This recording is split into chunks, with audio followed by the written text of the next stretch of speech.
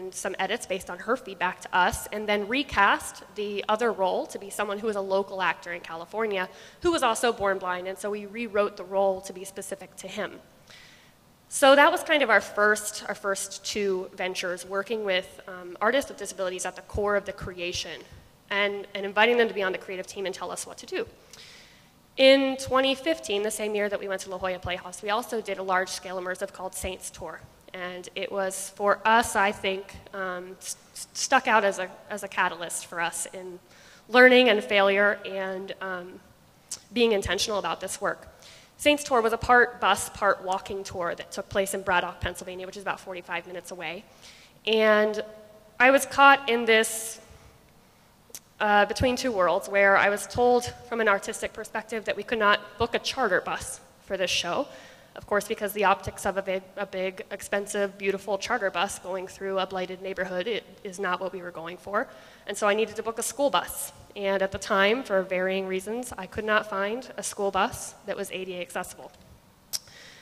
And so uh, we had found ourselves in a situation where we had created a show that was exclusive to a group of people that came to our shows all the time and found our space downtown to be perfectly acceptable and created something that by its nature was exclusive. And it's the first time that we started asking the question, who are we excluding when we do our shows? And so we just owned up to it and we told everyone that unfortunately, if you are in a wheelchair, you will not be able to come to this show.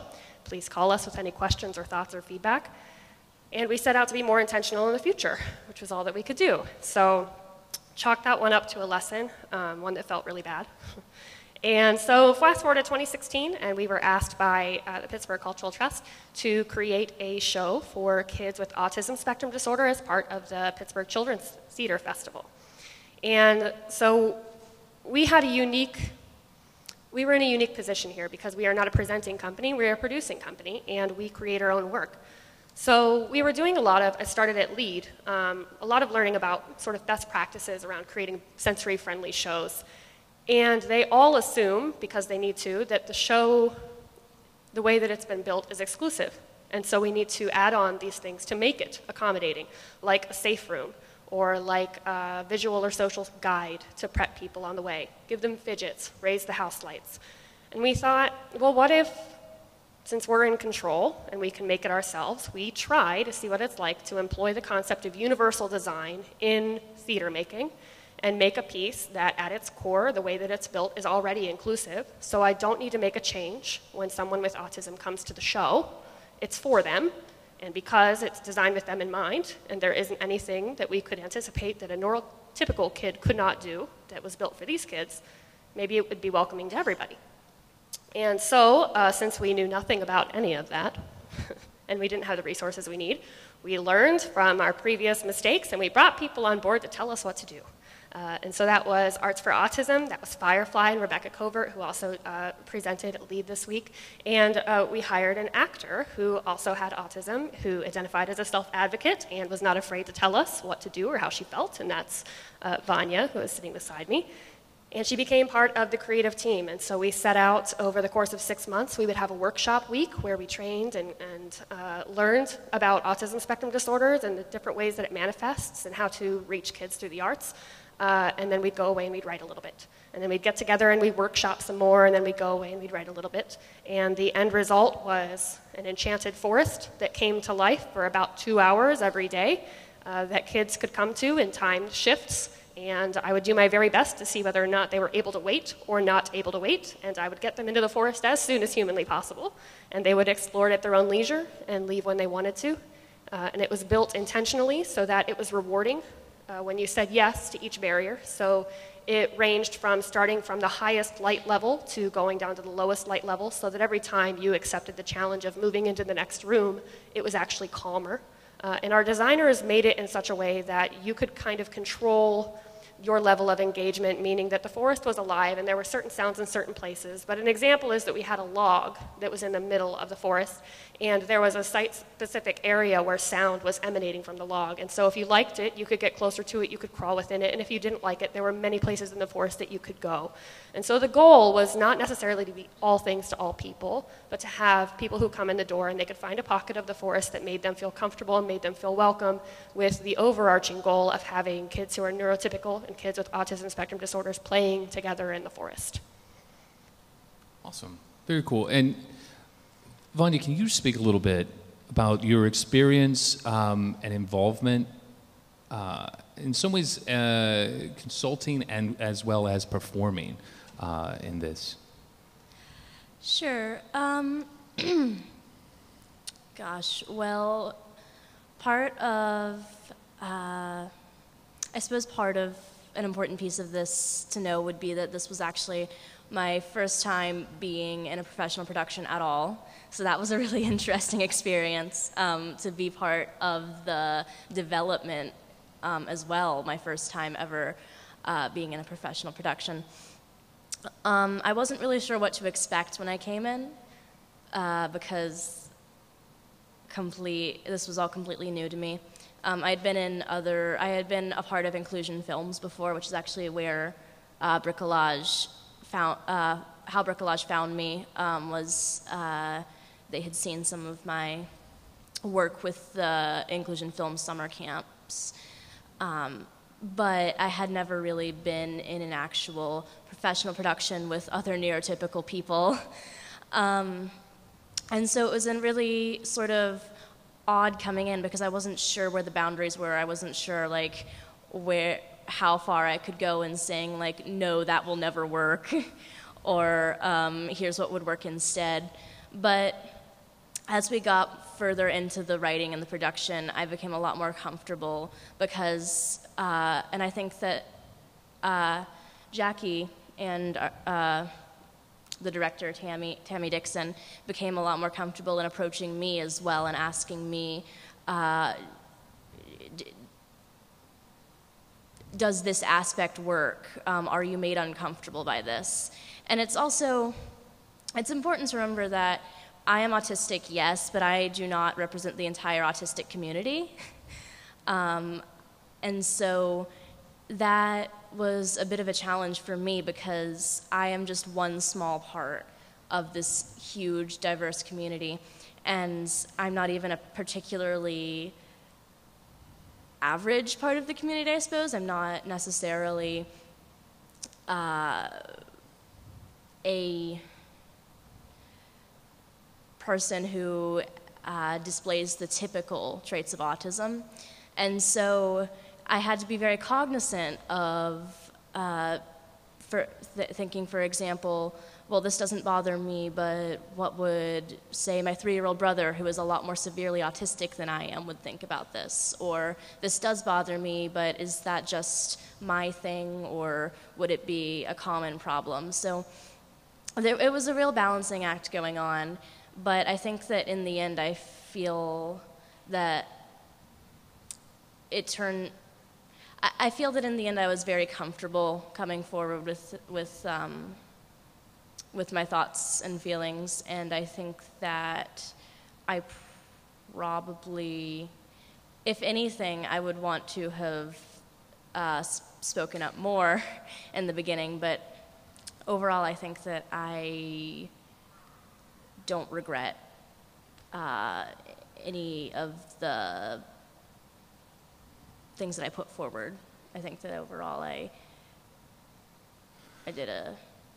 Um, but but kind of like, we were sort of talking about this earlier too. That it, it it's finding that balance of of when you know you're self-advocating and really moving forward, and then also being welcomed by the artistic staff and sort of uh, those questions being kind of sought out to you, right? So you're so in this experience, it was a little bit like I'm just sort of filling this out, but as you got more comfortable because those questions were asked, and you you felt that this artistic staff was being supportive, that you could get a little more comfortable in voicing your opinion and And, and I think that's an important thing overall, right? Is just the- having a welcoming environment. Yes, to do and that I in. think that also part of it was that um, I wasn't sure where the lines, where the boundary of me as a performer ended, and the Mm-hmm. boundary of me as uh, helping to develop the show Right. began. Right, right.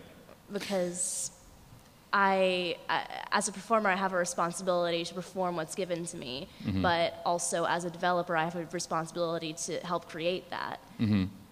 So that that is also a really diff, a really tricky sort of balancing act to, to have. And also a balancing act in, I would just think, the immersive theater, right? Because it's not as traditional uh, in its own creation, so that is an added thing that, that happens with, with, with just in the nature and context of, of what you guys are creating. Yeah, absolutely. And I should, I should specify that uh, in addition to being an immersive theater piece, our process was devised. Uh, so we created together. Um, we didn't have any concept really. We just had a goal for the show, and then we gathered a team of people that we hoped would creatively con- contribute to that.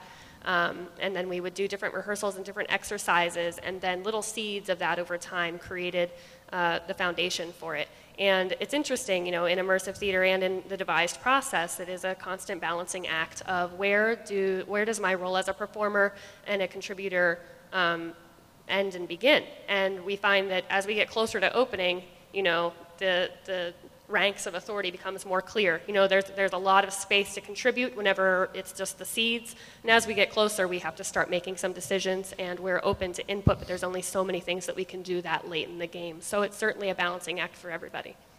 Cool.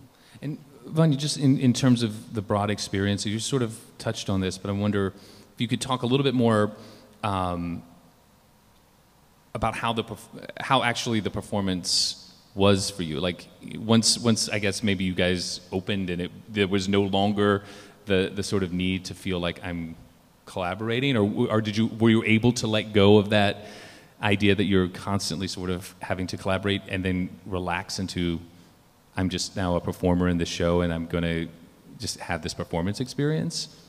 Um, definitely, there was some of that. Definitely, once everything was more finalized, it became a lot easier to uh, just relax and uh, into the role of well, now my role is to help guide these audience members and to connect with these audience members, and that's what I'm doing. But at the same time, with immersive with, with immersive theater, and especially with this piece, um, it's constant. You're still even when once you've opened, you're still constantly learning and changing things. Even after our opening day, we were still changing things the next day, and we still had to make adjust, adjustments to the show. Um, just because because the audience is such a huge part of this, and also because this particular audience has a lot of very unpredictable, both good moments and bad moments. Um, there's just a const, it's a constant conversation between the performers and the audience, and there's constant adjustments that have to be made even while it's running. Right. Um, and Jackie, can you maybe speak a little bit more in terms of the theater's experience with this show, and then also certainly and other work and other um, uh, work that you've done that has been inclusive? Uh, what the audience engagement has been, um, especially maybe with this community, um, when you're seeing audience that maybe has not seen uh, a representation of themselves or that, that culture. Can you talk a little bit more just in terms of what your experience has been with that? Yeah, we the feedback that we get from our audience with our immersive pieces as opposed to um, our other our other programs is overwhelming.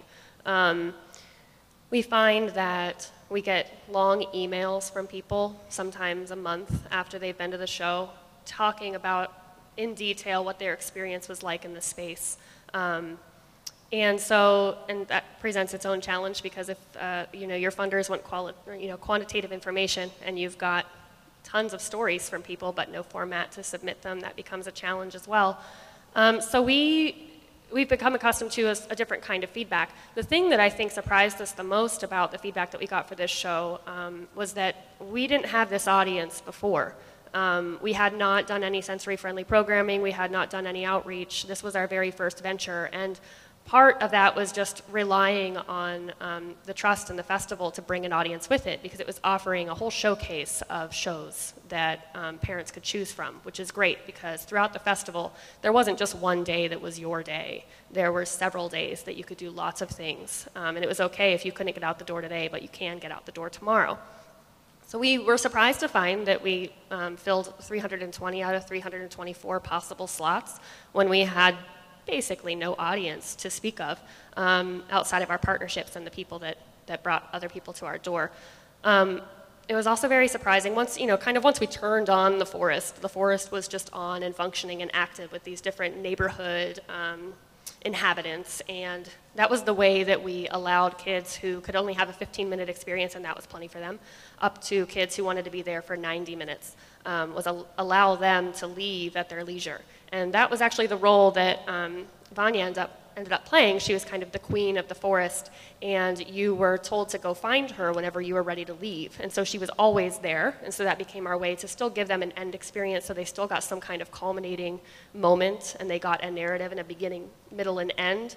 But uh, it was based on what the kid wanted to do and the kid's timing and not our timing. And so that became very interesting and a really great moment for um, we were very excited that the way that people sort of gravitated toward roles in the rehearsal process meant that uh, she got to be queen because that was a great moment, I think, for a lot of kids to be able to look at her and realize that they could be her if they wanted to. And that was something that people thought was really great and parents gave us feedback about.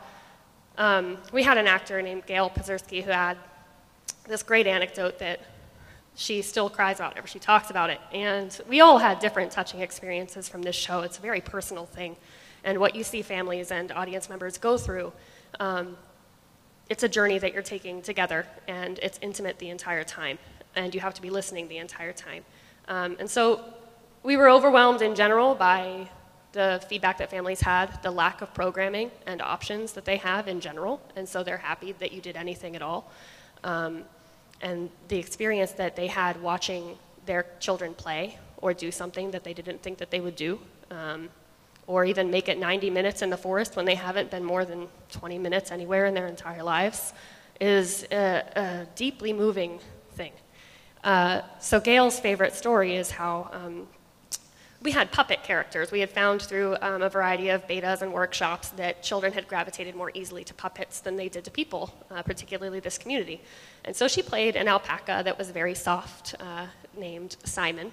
And it was the very first character that kids saw. And there was a little girl who came through that was very timid, but was absolutely in love with Simon.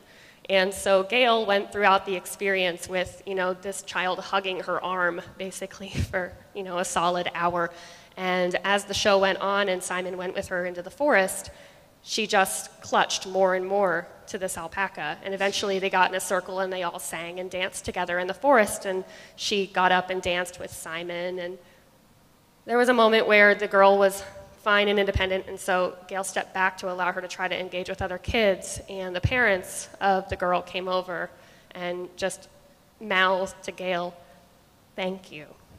And she just started to cry, and the parents were emotional. You know, the kind of experience that happened for many parents there was not something that they had had in other spaces. And it became very clear to us that this work, if it's done intentionally, even if you're incredibly afraid that you're going to have a Saints Tour moment where you do something very stupid, um, if you do it and you try, parents are just deeply moved by the fact that you're doing anything at all, um, which is the unfortunate state of affairs right now that you trying anything is applauded. Um, but we found that the reactions that we had to this particular show compared to our other immersives, um, while they're always deeply moving, for this particular community was especially meaningful. So, Vanya, um, can you talk a little bit? I, I, number one about how fun it was to be the queen in, in terms of your experience, but can you talk just also maybe a little bit more about the inclusive film project, some of the other experience that you've had with that performing, and you know where do you kind of move from here? Do you have other, you know, goals or, or things that you are looking to do as a performer? So, um, mentioned before, uh, what I mentioned before about inclusion films is that yep. that's, uh, for those who don't know, I don't know who knows or not, this is a um, a uh, inclusive film studio run out of California mainly. Uh, Bakersfield, California is where the film school is. Um, and it's, uh, it's a studio mostly for uh, people on the spectrum, although there's also, they also do accept other pe- people with other disabilities. Um, and I specifically have attended their film camp for the third year running now, which is specifically for people on the spectrum and people uh, with Down syndrome, and those are the only diagnoses they take.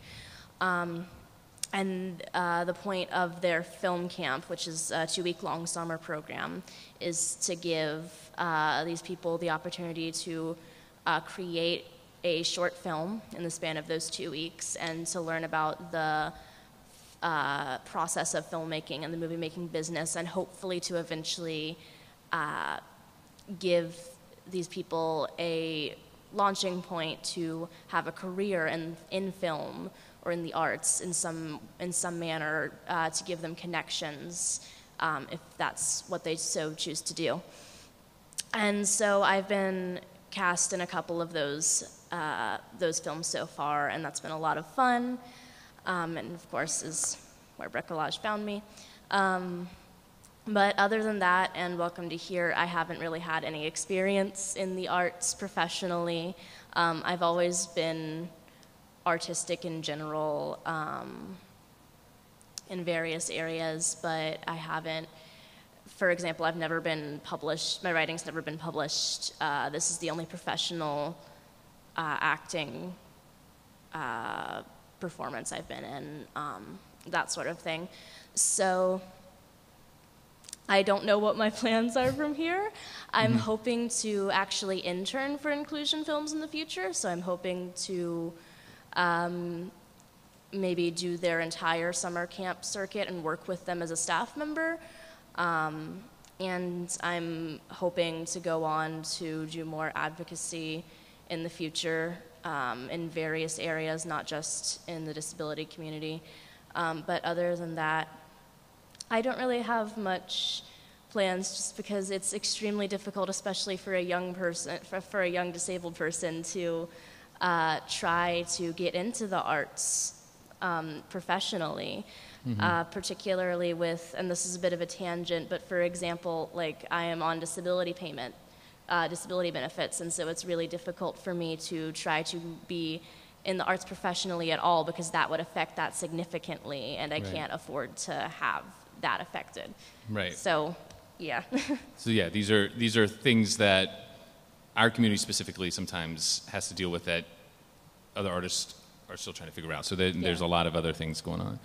Um, I would also like to talk, Jackie, about because we, we, we were sort of talking about this the sort of broad learning experience that you've had and sort of where at times we start an initiative thinking that we have to be specific um, and, uh, and make it a disability engagement, and yet we learn, wow, just by kind of creating this opportunity, it actually opens up a much broader universal experience. Um, so, can you talk a little bit about the radio play uh, project that you guys do and sort of how you might have you kind of started a very specific initiative uh, that was disability specific, and and then ultimately learned there's much broader appeal to it. So yeah, absolutely. Um, a lot of our work. Uh, started with the things that I learned right here at LEAD, um, which is thanks to GPAC sending me with a scholarship um, three years ago. And I went and I took all of the basic tracks because I, I felt like I knew nothing and I was terrified to even be here because I didn't know what to do or how anything worked, and I felt like everybody else already did. Uh, but we've got the Pittsburgh Mafia who made me feel better uh, and told me that uh, it was okay to not know and to just learn. And so that's where it really started, is with that support. Um, one of the things that I learned about was sen- uh, sensory workshops. And we have a, a 1940s style radio play format called Midnight Radio. And it's set up so that um, we actually tell our audience members, you know, close your eyes, kick back, and, and listen and enjoy. And we do all of the sound effects live with Foley props. Um, and so you can sit there and you become the live studio audience, which is how you become uh, participatory, but we don't have to cast you in a role. So if you don't want to be, you know, in an immersive theater piece, but you still want to be engaged, you can come still sit in a seat uh, like you're used to, but still be part of the show. And so we started doing these uh, sensory workshops where we, we would, you know, give you the Foley prop and allow you to recreate a scene. And it occurred to us after a year of doing them that we didn't have to call them sensory workshops. We could just call them Foley workshops, and anybody could come. That you know, to market specifically to a, a certain community, whenever lots of people could benefit from that, uh, was actually not only cutting our audience, but also ensuring that only those people came and that there was no audience integration. And so we just started calling it a Foley workshop, and it had sensory and tactile components to it, and we started getting students. Uh, we, got, we got lots more people who came and were interested in just what Foley was and how to use it and wanted to recreate a scene. And so then, whenever they saw the show right after that, they could actually hear the moment that they had already created, and they could remember, oh, they're right, okay, there's the basketball, there's the squeaky shoes, okay, we're in the gym, I know what all these sounds are, and I know what they came from. And we experienced the same thing with Welcome to Here.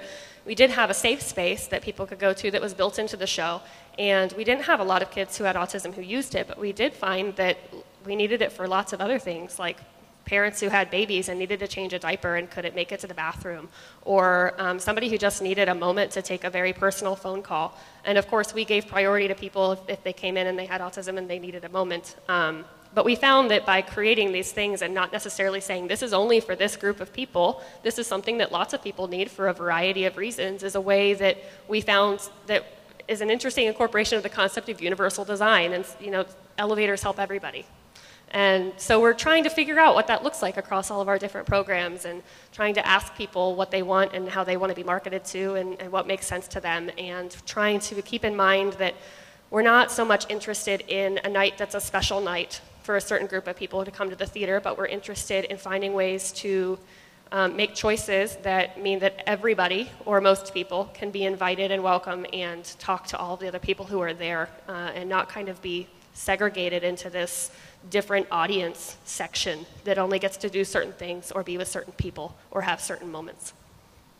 And sort of speaking to that idea of universal design and in integration of um, and inclusion, inclusion in general, um, specifically with bricolage, can you talk just a little more about how this has affected the way you approach your work now in, in, terms of future and what your belief is in terms of how um, how you can use those concepts of universal design, especially in the in the style of work that you do, because you are moving and you're traveling and you're you're in sometimes site specific places.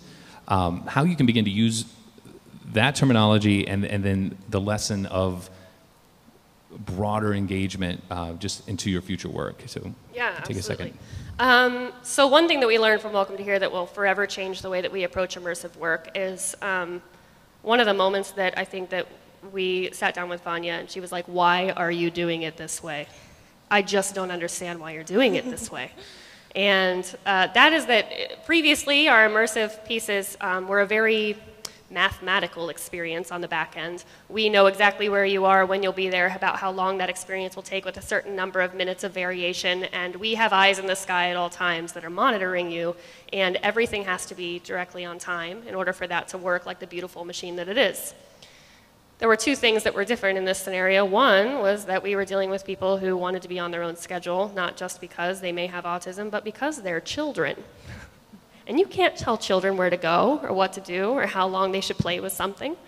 Uh, and so we had to completely change everything. And we, we, we were on this grid system with the show where, you know, you were going to be in this room for five minutes and then you're going to go to the next thing. And the, the Whispering Willow was going to take you about three to five minutes, we were pretty sure. Uh, and it took us all of one beta test to realize that that was a mess. Um, and so we also had a moment with, with Vanya where we had the script completed and uh, read through it and did the table read. And it's one of my favorite things that just endeared me to her when she was a little bit more comfortable in the process. And she was like, I thought that this was for people with autism spectrum disorders. Um, there are a lot of words in this script. and we were like, well, yeah, that's how you write a script. and we had this back and forth. And you know, the end result was that if you, you know, it took a lot of killing our darlings and throwing out our ego and listening to what she was saying because she wasn't just speaking for herself; she was speaking for the people that she knows. She was speaking for her brothers who would come through. And though you know she could experience our show just fine, she knew that her brother would come in and not see anybody who was like him and hear all of these words and perhaps shut down. And we didn't want that. So we ended up with a character that was nonverbal. Um, that was met with rave reviews from parents, and that was directly due to her feedback. We ended up throwing out the grid approach altogether, and I'm genuinely curious to see uh, what next year's immersive will be. Will it be a, a, grid experience? Will it be something that can be timed but also has an untimed component that you can do at your own leisure? Um, it's a completely different way of building it, and it makes complete sense and seems like a duh moment in retrospect. But when you're in it, you know, it seemed like a duh moment for her. But when you're in it and you've always approached it that way, and that's the story of this, right? We're set in our, the, our ways of approach, and our ego gets in the way, and we're not listening enough. And so we took that note in a, in a very big way. Um, and we, I, we've extended it to a lot of our other programs, and we're trying to think now when we do everything we ask the question, who am I excluding? So who can't participate in that? What is the barrier? Is it within me and my resources right now to remove that barrier? Or is it just up to me to own the fact that it is a barrier and make sure that people know and then direct them to a program that they can come to? Right. And in terms of that in, in, exclusive or being thinking, who am I excluding? and that comes into performers as well too so i think the lessons learned by integrating a performer with a disability can be hopefully used in the future to in, in ways that you may not even imagine now. Um, so just another quick question for both of you um, and i think we've sort of asked this with most of the interviews is uh, what advice would you give to performing arts organizations um, specifically in in in, in uh, in, in ways of including artists with disabilities and making that accommodation and and the rewards of that? And then also if you want to speak in terms of uh, institutionally some of the challenges and things that that you may have overcome or, or you may have thought would be there would be challenges but yet um, you know maybe there maybe maybe there were uh, and and Vanya too just as a performer and based on this experience if you have um, any ideas or advice that you would like to, to share for organizations? Do you want to go first? Okay. um, I suppose that I, the most important advice would really just be to reiterate what's been already been said throughout the day, which is ask and listen. Mm-hmm. Um, because really, if you're going to be creating a piece for a specific community, or if you're going to be having people from a specific community on in your production, then you need to uh, then you need to ask that community, what do you need? What do you want? Um, because, like Jackie was saying, often it's really not obvious at all to you as an outsider. Um, to me, it was so obvious that uh, if you're creating a piece for people on the spectrum, you should, and it's supposed to be inclusive, you should uh, include ways for not completely nonverbal people to interact and to limit your reliance on language. It, that was so obvious to me that I didn't even think to mention it to either of them before the script was actually written. but as we learned, that is not obvious at all to someone who's used to writing scripts. And that's what they do. So really just communication between you and the community that you're working with and working for is the key uh, to making something that someone will feel included in and will really be able to participate in.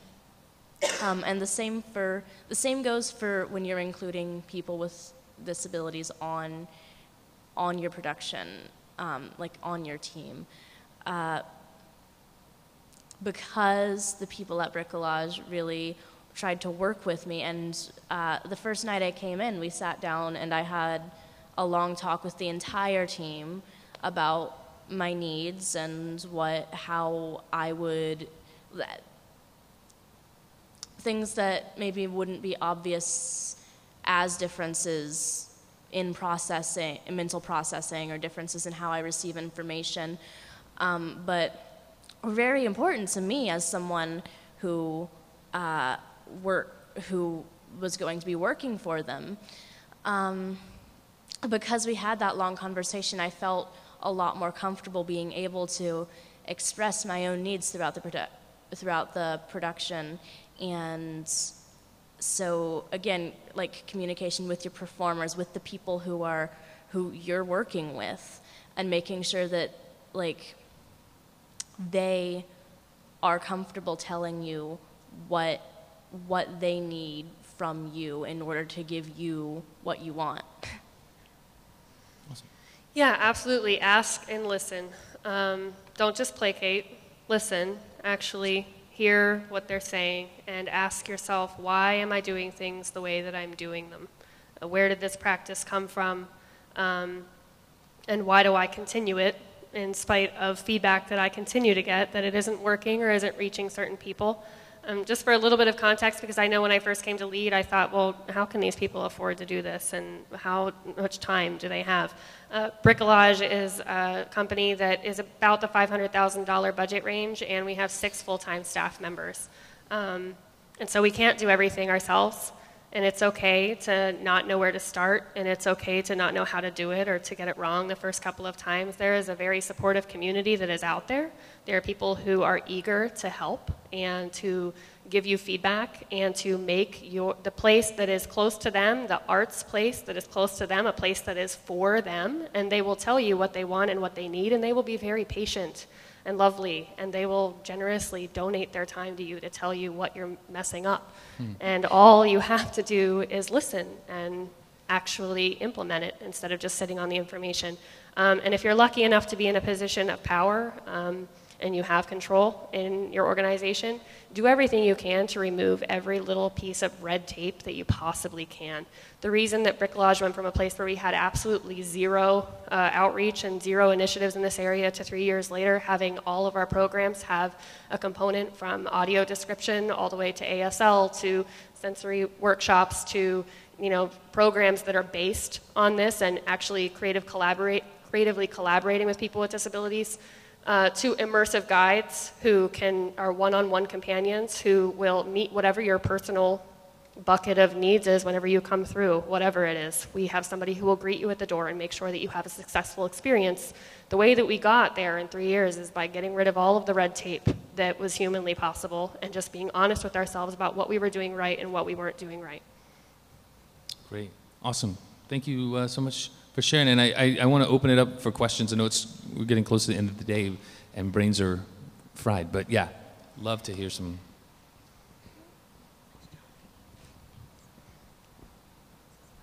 Hi, I don't really um, have a question per se, but I, I wanted to ask Vanya if it's if it's not too rude of a question to ask, would you mind sharing your age with us? I'm 18. You're 18. Well, I, I just want to say there's uh, a few times when you when you were speaking, and you I think you said I you know I only have one professional acting credit, and I only have one professional writing credit to to really own that, and that that's a huge success uh, for any 18 year old to have. Um, so that's that's certainly the start of a bright future, and I and I hope you know that. Thank you.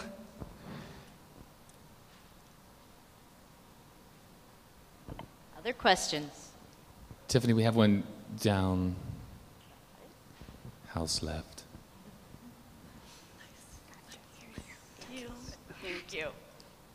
Well, first of all, this is Vanessa from the Trust again. And I am just so impressed by this entire project, and I knew about it from the onset and even read the social story that you guys created around it, but just to hear the backgrounds of what happened, it just, it makes me wildly proud to be a part of this community here with the two of you. So thanks, thanks for that. And my question is, on average, how long did people stay in the forest? And then to follow that up, did you have any children or, or their family members with multiple disabilities? So another disability on top of being on the autism spectrum? Yeah, absolutely. Um, sorry, the first, there, uh, there were two questions. One was multiple disabilities, and oh, how, how long did kids stay in the forest? Uh, so we had hoped that it would be a 30 minute experience. Um, I think our shortest adventure took 20 minutes, and our longest adventures, we had to actually come up with a protocol to get kids out of the forest without them realizing that we were making them leave the forest, uh, which was usually Queen Oya coming up and just having a conversation that just happened to lead to the end of the play. Um, and so uh, we were very pleased that we had multiple parents who came to us and said, uh, My kid hasn't been 90 minutes anywhere ever and this is our first time that we've been able to just sit and relax in the forest and just, you know, they could just watch them play like they were at a playground. And those were some of the most meaningful ones for us. Um, we did have a, a, kid come through who was six years old, and uh, he was blind, and he had some sensory sensitivities. And so we had a phone call with the mother in advance to see what we could do. And we had piloted our concept of an immersive companion. Um, because immersive theater, since it is so specific and personal, it isn't as easy as just having one audio describer. You know, it starts at a different time for everybody. And because it's such a usually highly sensory based experience, there are a multitude of barriers that could occur for you. Um, and so we had tested it out during Saints Tour to see whether or not a sort of a personal audio describer who could go through the event with you would be successful. And it, it was. Uh, so we sort of piloted. We did a rough draft on one of our friends of the theater who's with us today, Brian Rutherford over there, uh, who kindly went through the forest like a child. Uh, and we had our audio describer, Marianne Graziano, who is a rock star, uh, go through and practice on him so that whenever Tommy came uh, he was able to go through the forest and she was ready and already knew what to describe and knew what some, some possible barriers were. And so that was the first time that we had successfully employed our idea of an immersive companion. Um, and I don't know how many people we would be able to accommodate in that way. That's something that I'm interested in testing and seeing. Um, but we were very excited that we had done the work the year before to be able to make it successful this year. Brian, do you want to say anything about that? No, it, it's great. It's great that, that they opened it up to a, a bigger window than just the one uh, the one sensibility and, and, and whatnot. And it was awesome, and it was great to actually circle back. I went back. I was planning on going on my own uh, without a describer, uh, and the fact that they decided to open it up, and uh, then I later got back with them and how did it go? What would, how did he how did he like it? How did he like my feedback? and what I thought would work for him, and that was great. And we did have um, a, a, few kids who came who also were in a wheelchair, um, but as our space is ADA accessible, um, you know, it, we had dealt with that and crossed that barrier before, so it, it didn't uh, really present much of a barrier for us. Any other questions?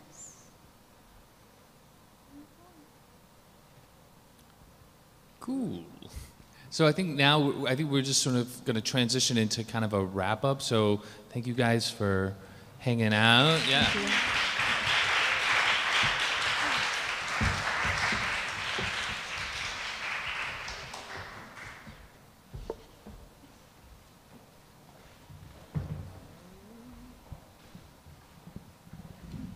Sure, we're. Not sure we're. Oh she did have to leave. So Christine and I are going to uh, begin this uh, wrap up portion.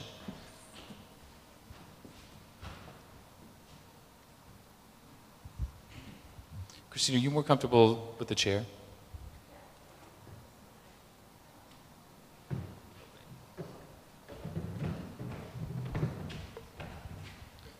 So,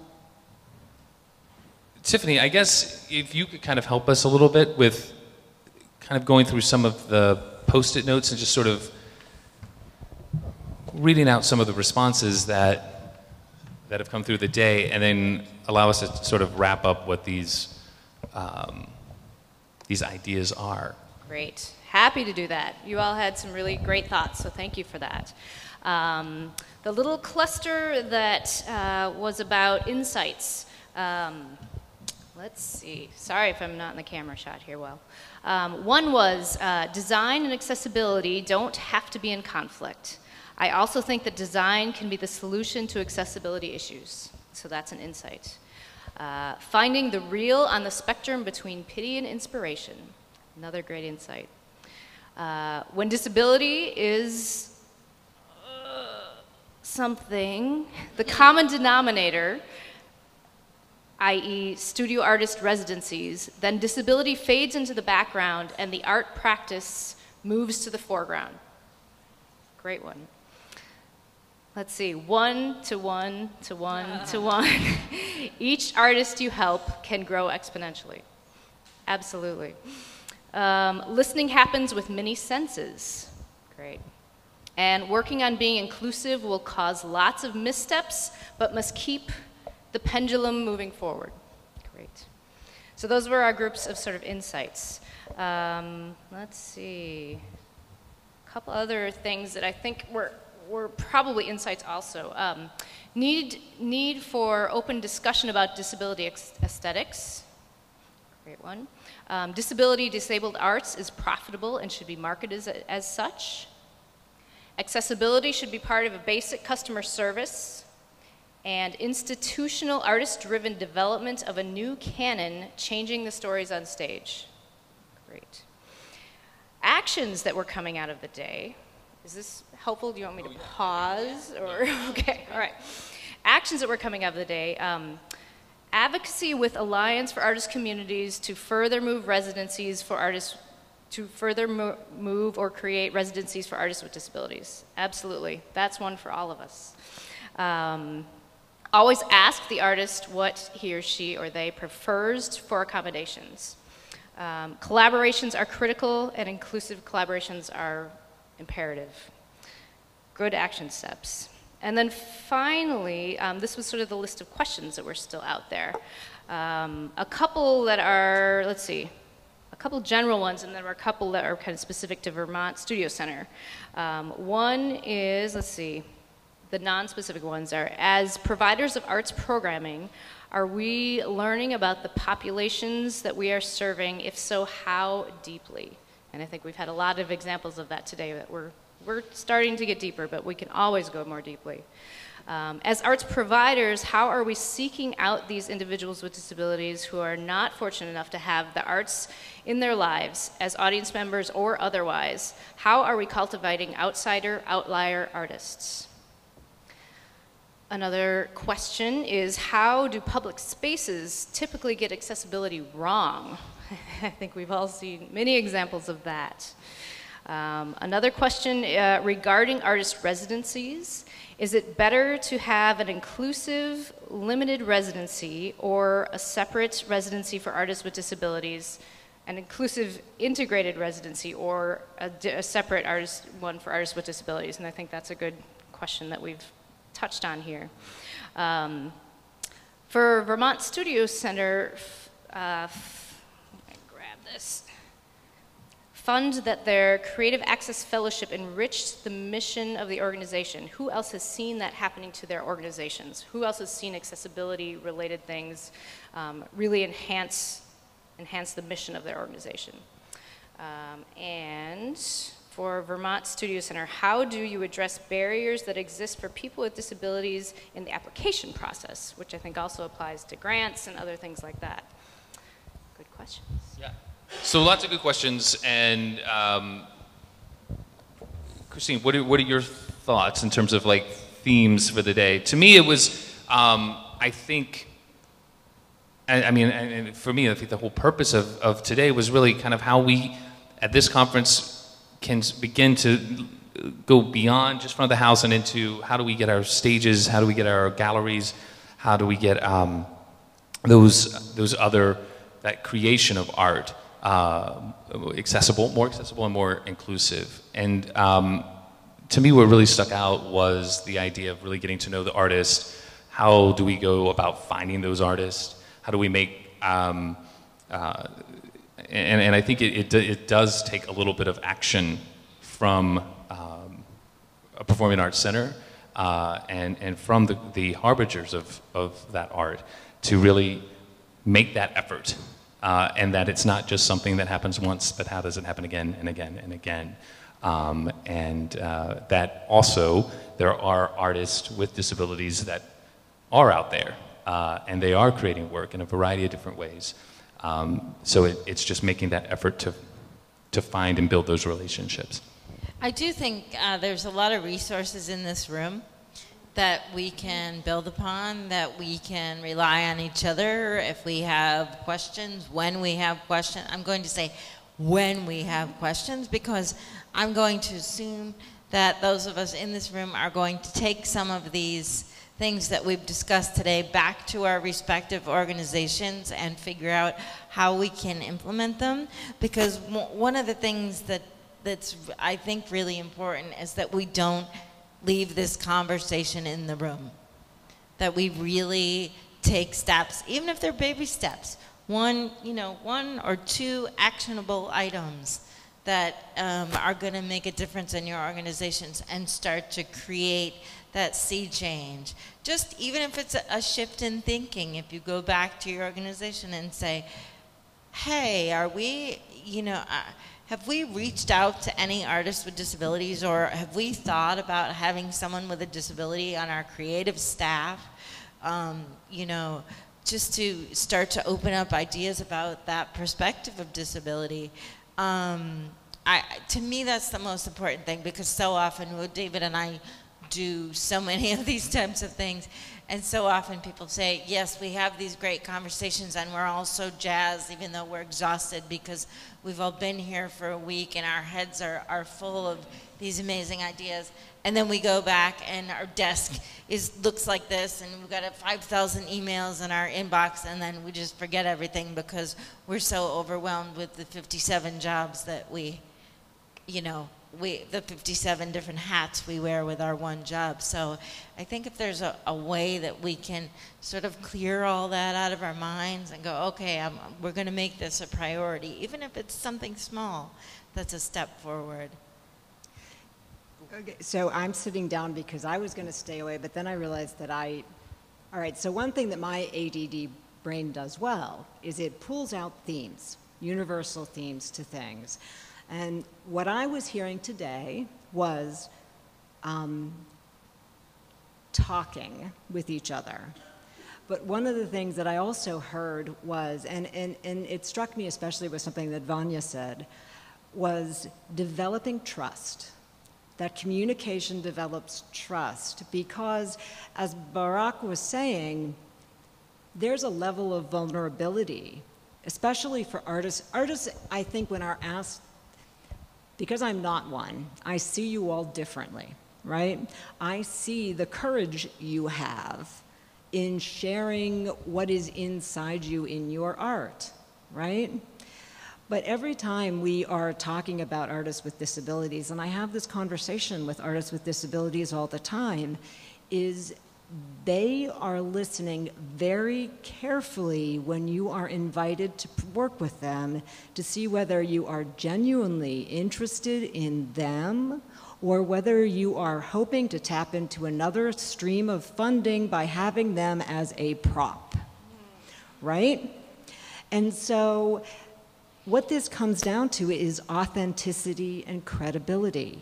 You I'm, I don't want anyone to walk out of this room saying, yeah, I'll have a couple of extras, or, you know, I like that concept of the guy without the hand being a zombie or a pirate. We can do that, right? I don't want you to walk out of the room with that. I want you to walk out of the room with, I want this voice, this perspective to be not res- just respected, but celebrated and valued, right? Um, you know, they're getting ready for the art experiences that we had this week and getting ready for this day. I came in with ideas of how it was going to happen, but everything became so much more nuanced along the way. Our four performers for Thursday night all had incredibly different ways of working incredibly different concerns from coconut water to wearing a ducky hat to, you know, um, getting a room with two beds and a roll-in shower, which until that moment I did not know was available in the hotel where we had booked everyone, right? It, it, you know, it required so much hospitality, like Ryan was saying, a hospitality industry, and a desire to make it a smooth and pleasant experience. And I think what, and there was, you know, we worked really hard to let people know we wanted them to come for themselves, not to be the representative of um, black artists with disabilities or to be the single representative of people who use wheelchairs. You know, I mean, we wanted people to come and be themselves. So there is a level of tokenism that is possible in this. And so though you come away with, hey, I like you as a person and I want to listen to what you have to say and make you welcome here for who you are, which is really how we should probably approach everyone in the world, right? But that is what I've learned from all of this is that you this is hard work, but it's been the best work. You know? Well, one of the things, I mean, I think if you if you look at it from the perspective putting of putting the art first, yeah, that it's it's going to put you way ahead of the game. If you, because when you deal with a, a not let's say a non-disabled actor, right? You have a company manager who sets all that up, and there are going to be actors who have specific concerns. They don't have, they may not have anything to do with access Mm-hmm. requirements, or they may, but they may just be requirements of, of that particular artist. But you, uh, you know, you have to sort of look at it in the sense, what is in the best service of the art? What's in the best service of the art is making sure that that artist is functioning at optimal levels so they can make the best art they they know how to make. And and I think if we look at it that way, then then we're sort of erasing all of the uh, the um, the categorizations. Um, somebody said, uh, David and I um, were um, facilitating a panel with casting directors uh, a, while, a few months ago, and someone said, and I wanted to say this before in working with deaf actors, and I don't think DJ is still here. No, he had to leave to get his flight. But deaf actors, you know, they, they, they do face um, issues that other disabled actors don't face because a lot of a lot of the pushback that they receive is is uh, funding, is money. Oh, it costs too much to have rehearsal interpreters. It costs too much to have interpreters for auditions, and and it's not an unreasonable request for a, a deaf actor to ask for an interpreter and a qualified interpreter. That doesn't mean an interpreter who interpret meet, interprets meetings. That means a theatrical interpreter who knows how to accurately interpret auditions for deaf actors, which I think DJ started to speak about briefly. Um, and one of the casting directors sitting on that panel just had a light bulb moment. She said, I don't understand why it's such a big deal. When we have a musical theater audition, we think nothing of hiring an accompanist for the entire day, and the accompanist plays for 90 seconds, and then they are doing nothing for five minutes, and they play for another 90 seconds, and they do nothing for five minutes. But we don't even bat an eyelash when we are when we're building in that expense into our budget. Why don't we why don't we afford the same consideration to deaf actors? So I think if we level the playing field by thinking of it as what is going to make the artists that we're bringing in what's going to make it conducive for them to do the best work they can do and so that we can see what we're cap- they're capable of doing that that makes it a lot easier to sort of move forward in our thinking I, if it's okay with you all, I wanted to see if Yeah, people yeah. have thoughts in the room, especially anyone who hasn't had a chance to ask anything or say anything today. Um, and then I will just say too, I'm kind of curious how Betty and Jessica feel about the day, and so and their thoughts on this whole thing. So just, just let me know if you want to say anything. Anybody else want to want to have say something here?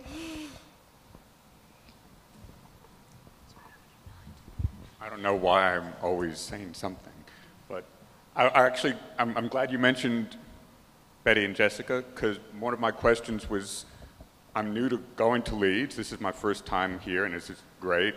Um, but I don't know enough about what the follow-up opportunities are through Leeds, and maybe they or somebody else could speak to that a little bit. One thing in particular that I would love to have out of today is, and maybe out of the entire week, if there's any note-taking that has happened sort of universally that has given like the websites that people have mentioned or some of the spelling of some of the things that I've been unfamiliar with.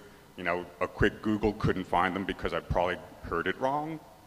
Um, and then is there a Facebook page for leads that people can post to that can share through or some other way of doing that? So that would be great information for me to have. The captioning that happens today is already on HowlRound, so there's actually already a transcript there, and then it will be cleaned up also. But do you all want to talk about the listserv and things, or? And, and just so you know, on HowlRound, this is being, is going to be available as a, yeah. Okay, so this is Betty Siegel from the John F. Kennedy Center for the Performing Arts, and thank you so much for all participating and being such amazing speakers and sharers of fabulous um, experiences and information. Um, we do, if you've uh, attend LEAD, one of the benefits and perks of attending LEAD is that you get to participate on a listserv that we've run for many years. It's a listserv where we throw out questions to one another, our peers, uh, for guidance, advice, and information. So you have to come to LEAD to be eligible to get on the listserv, though. So this is just my big plug to come to Austin, Texas in a year, 2017. Um, generally, though, just since you asked for an opinion, and I think I can speak for Jessica and I both, we really feel very strongly um, about the impact that these kinds of conversations can have on us as a community. We also really strongly believe, and I think this is true when we look at the values of Kennedy himself, of courage and service, um, and there are many more that I could list, that art, good art, is what we are looking for. Good art changes and shapes society, and we need to be open to good art regardless of where it comes from, who it comes from, or why it's coming out. So thank you guys for helping us identify that. One of the things that, that just came out for me in the day too is just thinking about the ways I sort of too started in LEAD and, and like learning about all the kind of audience access ways and accommodations and things. Um, and then to take it to this level, the, the way the relationships are built and the depth of the experience and the way we move through the world with the artists that we're working with if we're, if we're doing things to present them or to host them or to have them in our companies is so much deeper and more transformative. And I think for an institution, for the individuals working together, for all of the humans connecting around it, I, I, that's another powerful point in all of this, I think. You know, I, it, I'm, can I just throw, I want to say something about you in particular, Barak, because I, when we hired a, um, we hired one of my colleagues who is a multidisciplinary artist who's focusing on, focusing on her music right now to sort of stage manage our performance on Thursday night. And last night at 2 o'clock in the morning, I was texting her because we, we texted 2 o'clock in the morning. And I looked at it just now and she said to me, she said, make sure that, she said to me, thank you for hiring me to stage manage because I learned more than I gave back, and I already know 48 hours later that this has upped my art more than I thought it could. It was that Harry Potter Voldemort wand moment. Um, and that was a very brief day, right? Um, and so I'm just saying that when we were talking about the one question that I heard here is how has this impacted these organizations? every single organization, and they're not all here that we talked to about participating in this day, every single arts manager we spoke to said, working with an artist with a disability, didn't matter what it was, changed them, their organization, their work, and it was like an exponential leap because of that depth that Tiffany was just speaking of. I also think it changes um, the it- it changes the interaction with audience access when you're working with disabled artists. I think it changes the conversation. It opens up the conversation in in ways that eh, people aren't even aware of, because then they're thinking uh, they're looking at the entire picture. Barak, did you have a question? So this is Barak. Um, I really appreciate, and I didn't get a chance to, and I forget your name, Sarah, um, because this kind of talks to the notion of what happens next. I, lo- I was talking to Sarah and I think Brandon, but Brandon was talking about the ways in which they're, they are creating learning communities, and I thought that is so incredible. You know, like at each community, in terms of what LEAD offers, that they stimulate within their own this kind of learning community, and I'm fascinated by that idea. I'm fascinated with how I can go back to Chicago and then stimulate that, even with those who have not necessarily been a part of this conference, because I think that that is the continuation of the conversation. Um, so I want to affirm that. I just want to, that felt like a shining light on this notion of the learning community and building that as continued conversation. And then one of the things that I always deeply desired, because I'm so much into networks, is that in this room, there are those who've talked, those who share their names, but I feel like I haven't had the opportunity for anyone to go around the room. And I, will, I don't know if we have time, but I would love that because I'm not necessarily connected to a listserv or da da da or LEAD. I'm just wondering if there's any opportunity for people just to, if they want to, to share who they are and where they're from.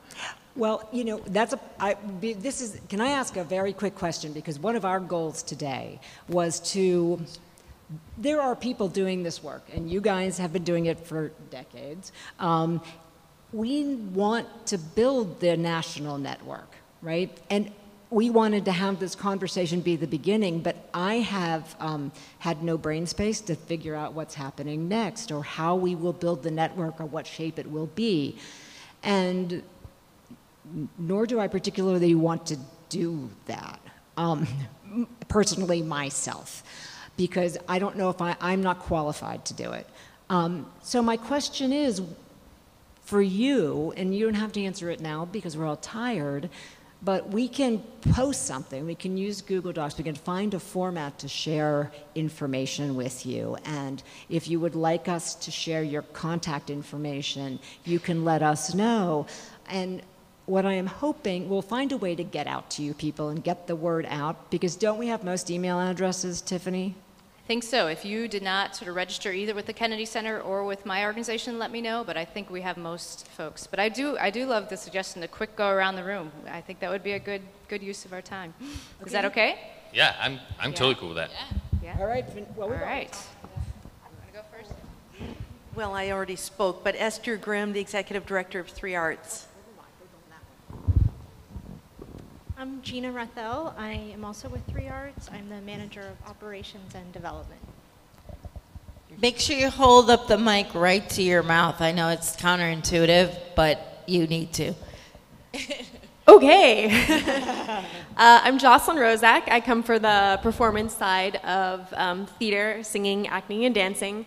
But I'm looking to get more into perhaps the management side of arts, working with people with disabilities, community engagement. So this was a perfect way to come and start to learn about those issues today. So it was really helpful for me today. Thank you. Where are you from? Uh, oh, yes, I'm based here in Pittsburgh. Thank you. Uh, Benji Blanco. I'm the new creative arts manager at Achieva, which is a local nonprofit that provides services and advocacy for people with intellectual and developmental disabilities. I just moved back to Pittsburgh. I've been gone for about five years. So, Pittsburgh people, come talk to me. Achieva has open positions. It's a wonderful organization. I'm Jessie Ryan. I'm the manager of education and community programs at the Pittsburgh Symphony. I'm Vanya Rumsey. Um, I am a disabled performer um, eh, here in Pittsburgh. Jackie Baker, Bricolage Production Company in Pittsburgh. David Bielowitz, performing artist, Pittsburgh. Betty Siegel, Director of VSA and Accessibility at the John F. Kennedy Center for the Performing Arts in Washington, D.C. Jessica Swanson, Manager of Accessibility at the Kennedy Center in DC. My name is Elizabeth Rossetti, and I'm with the Children's Museum of Pittsburgh. I am Caitlin Scaff. I am the Assistant Operations Director for Prime Stage Theater here in Pittsburgh. Padraig Naughton, Director of Arts and Disability Ireland. Nicole Remmert, I'm the Executive Director of Sweetwater Center for the Arts, about 10 miles up the river from here. Hi, my name is Sarah Corin. I'm from Raleigh, North Carolina. I work for the City of Raleigh, and I'm the Arts Grant Coordinator. Hello, I'm Karina Koyman. I am based here in Pittsburgh, and I am the Art Studio Coordinator at the Children's Museum of Pittsburgh.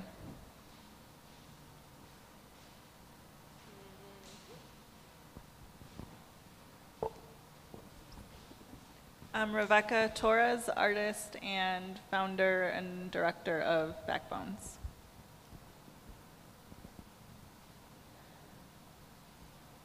And I'm Ryan Walsh, uh, former development director and writing program director at Vermont Studio Center. I just moved to Pittsburgh this week.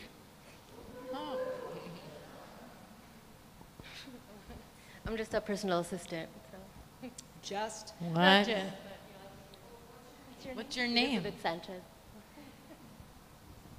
Uh, my name is Christina Salgado. I work for Pittsburgh Ballet Theater. I'm their Director of Education and Community Engagement.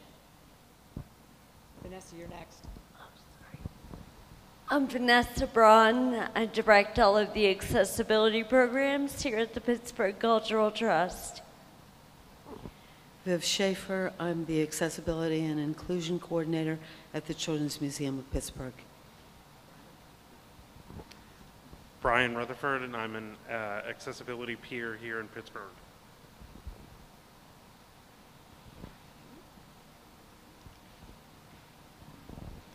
Hi everyone, my name is Kayla and I work for Dog and Pony DC and I'm the and I'm an apprentice with Dog and Pony in DC. Hi, I'm Daniel Ellison. I'm from Durham, North Carolina, and I teach at Duke University a course on legal issues for the performing arts. Um, and I'm chair of the Durham Cultural Advisory Board.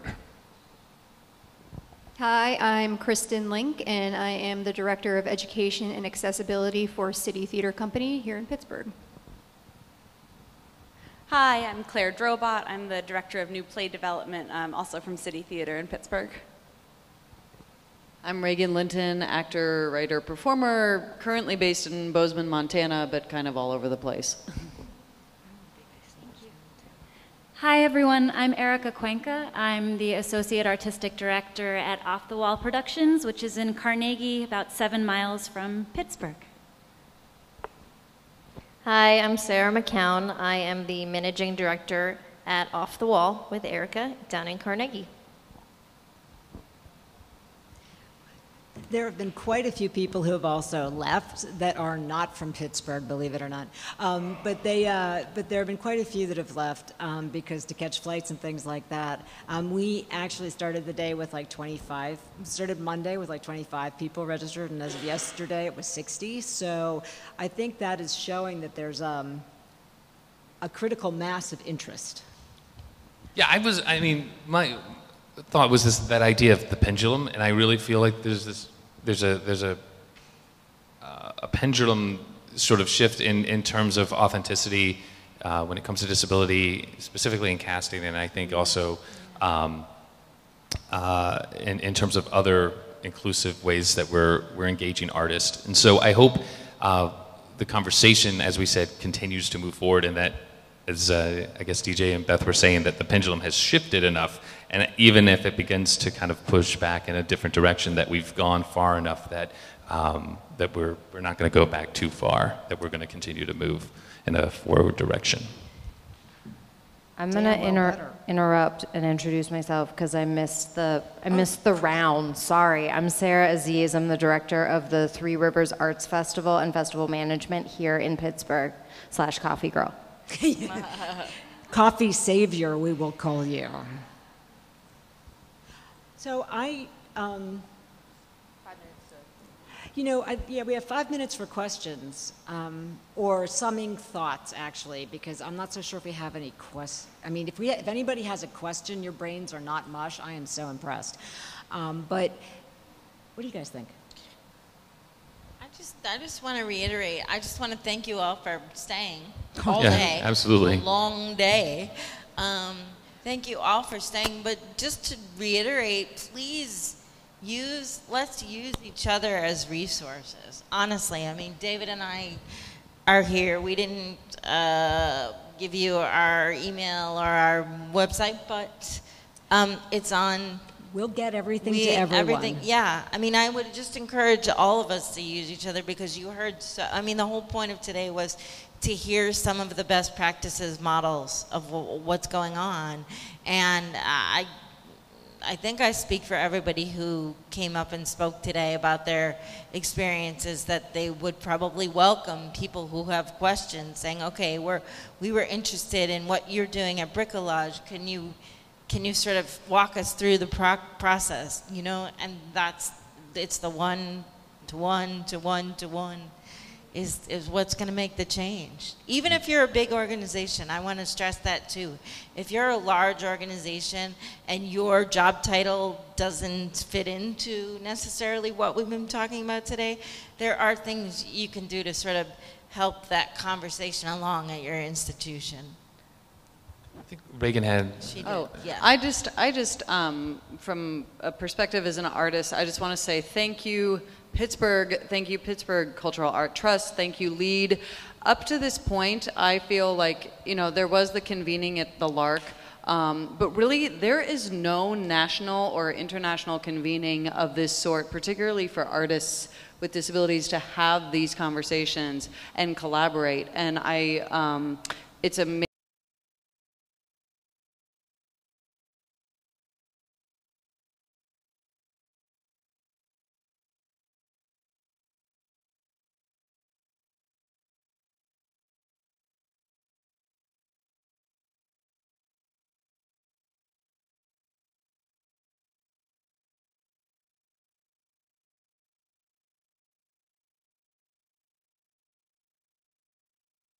Bravo, Pittsburgh, all of you, and uh, keep, yeah, moving that pendulum forward. And may I simply say that these two people made this day, right? Without them um, and their knowledge and their expertise, and this is what they do. So don't forget about them. Call them, talk to them. You know, the Alliance for Inclusion in the Arts is exactly that. And you need to take advantage of this expertise and talent. And frankly, you guys like, you scare me, you're so good. So, um, you guys, you know, I mean, don't ta don't give us all the credit. No, I, I think absolutely. I think it was it was it was coming from you guys and, and really wanting to um, to collaborate and, and, and, and really bring this conversation forward. So again, thanks Yeah, so much to Pittsburgh Cultural Trust and, and also obviously the the leadership at LEAD to allow this day to happen. Great. And I wanted to bring Vanessa back up because she was so much, it was really Anne and Vanessa sitting in rooms, having meetings over many months, having phone calls. coffee. I'm happy to be part of their team, but it really, two of them, I'm so, so proud. Thank you so much. I'm going to really quickly, one more time, acknowledge Pittsburgh Cultural Trust. Yes. Kennedy Center, all of the partners who made this possible, FISA Foundation, Pennsylvania Council on the Arts, NEA, really important conversation. And really, most importantly, all of you, as you know, everyone who participates in these conversations, that's, that's what these are all about. So thank you for coming. I think that's it. Are we good? And we're done. Thank you. Have a great evening, See everyone.